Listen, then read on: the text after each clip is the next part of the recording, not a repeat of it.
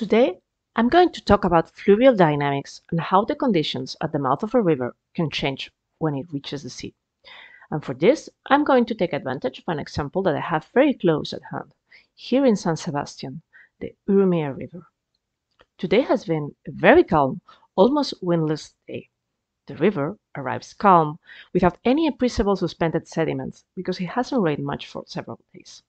If we look at the first bridge, the Kursaal Bridge, at the mouth, we see how a small wave forms where the masses of seawater and river come together. Do you see that there are some waves in the background? But the Urumea River is not always so calm, nor do the waves reach just below the first bridge.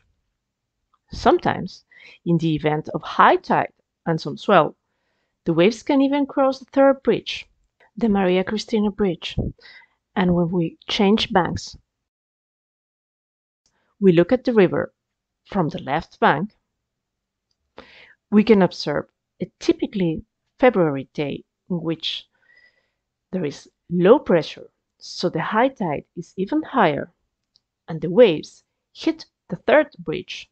They lose a little energy, but they are able to continue, to continue upstream of the river, and even practically go off the upper part of the river channeling within, within the city. Impressive, right?